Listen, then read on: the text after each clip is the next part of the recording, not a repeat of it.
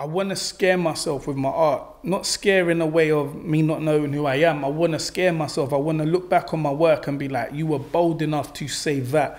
You were bold enough to do this. You were expressive enough to present it in this way. Yo, yo, I don't make fake fucks shoot you in your face on. I don't make I've got a nice Gucci belt and waist on. I don't make songs pretending to be Pacino, casting the role of Scarface or Pesci in Casino. Deadly with the pen like that scene in Casino. My name's Mic Assassin. I'm a music artist, entrepreneur, and video director. I run several businesses. I enjoy creating music and just creating these different worlds within my art. I sent out demo tapes when I was like 14 to a variety of different independent record labels, which I um, I found out about in the yellow pages. So I found out about all these different record labels, and I sent them all my demo tapes on a TDK. And some of them got back to me. Some said I was terrible, and I just never heard from the majority of them. No one else, no one else would understand it, but I'll start a song here and finish it like over there. but I understand it. Yeah, it's like I can always find it. Songwriting's almost like cleansing your soul. It's like you get to a point where you've gone through, you might have gone through past relationships, you might have gone through situations with family, situations with money, situations at school, situations with your group of friends. And for me, like songwriting was always just a way to get that stuff out. It was almost like, okay, I never had a good day today. How can I creatively put that bad day into a song? How can I creatively get that feeling out? And for me, it was almost therapeutic. The overall vision and dream, I guess, is to be free, really. As an artist, I want to break out of those confines of having to fit within a particular genre, a particular way of storytelling. As, as artists, we're storytellers, right? So I want to find the most unique, creative, and comfortable way for me to tell those stories and then kind of shatter that little perfect world I've built for myself. I want to be I want to get to a stage where I have a vast catalogue of music, which is, um, it reflects the different stages of my life. Performance wise, I want my performances, it's twofold. I still have that element where I'm an MC. I want to be able to jump on any stage with a microphone and express to the audience that I'm talented, I'm good, this is what I can do. But then there's the other side of it, the side of me that's a video director. I want my performances to be an extension of my music visuals. So I want the performance to be immersive, whether that's using lighting, whether that's using dancers, whether that's using actors or different people who interact with the performance. I want, I want my live show to feel like the audience is a part of the music.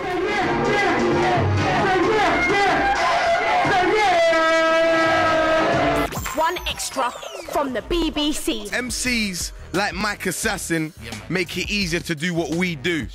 A fresher breath rare. What's going on, Mike? What's going on, fam? Easy, easy. Cool. Mic Assassin in the building. What's going on, blood? You good? Yeah, I'm safe, man. Only supreme beings can be in the circle. Only supreme beings transform human beings for universal.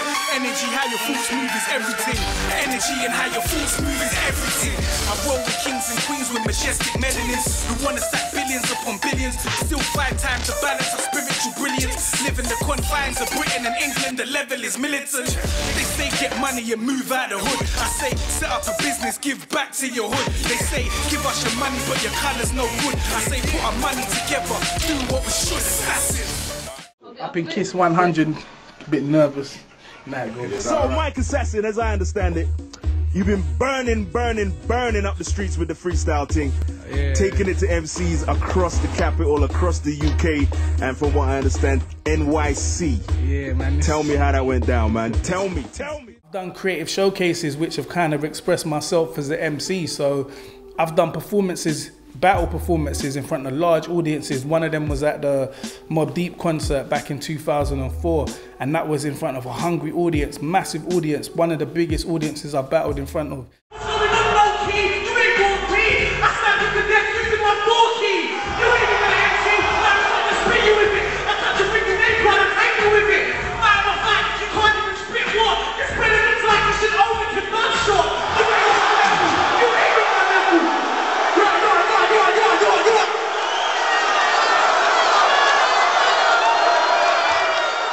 Then there's other audiences I battled in front of at the UK B-boy competition. So you have these different audiences and it creates a, a different kind of paradigm shift because you don't know how each one's gonna react to your line.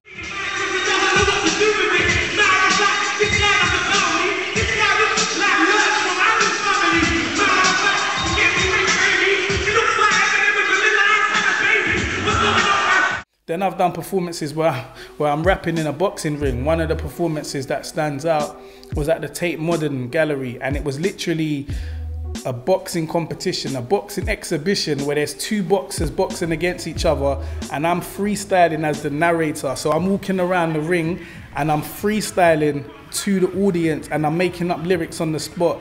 And it became so immersive and entertaining to the audiences. I had my mum there, I had my grandmother there, and those kind of performances stand out. And so, yeah, I've done a variety of things as well as the intimate kind of hip hop shows where there's four people in the audience and that's that's all that's came out of the night. Or I performed to hundreds in different parts of the world. So yeah, it's really interesting, and um, I think performances have to be definitely a, um, a staple of any artist's kind of development. Performing in front of four people, performing in front of thousands of people. Yo, so my spit flows on stage. And yo, I battle you amateurs. I'm only an MC and I'm one sick of a hell of a cameraman. Yo, I spit real words. With these cameras, I'm like Steven Spielberg with real words. Yo, I'm spitting, I'm stopping you. Shout out to Cobra Commander, my brain was Pollicle. Yo, we're up in Christiania. I kill rappers, bench press like WrestleMania. Yo, I spit in the verbal Vulcan. I'm like, oh, I'm a warrior versus Hulk Hogan.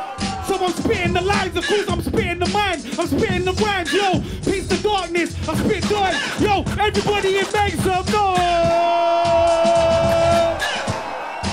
The most unique way I can say is like um, I write visually. So I write a song at the same time that I am creating the treatments for the visuals. So every time I write music, I'm thinking, how can I represent this visually? How can I bring this to life in a different way? And I think that separates me because I'm no longer listening to it as just eight bar loops, 16 bar loops. I'm thinking, what visual story can I tell with this? And I try to write that way as well. So I think I separate myself from other artists in the sense that I'm fully trying to give them a whole rounded picture of myself as an artist, which is a hard thing. I like to try and listen to everything. I like to, and I think sometimes as artists, that's what can be quite hard sometimes because you have to absorb pain, you have to absorb love, you have to absorb everything that's going on in the world and kind of eject out your version of those events. So I, I try to, I'm trying to pay attention and listen to that kind of inner voice a lot more. LDN rains too much. Water droplets bring the pain to us. They say we ain't changed or we changed too much. I wonder if slaves chained that chains that rust. I guess I can't complain that much. Credit card debt got me feeling all fucked. And yo, boss man, five rings and chips, please.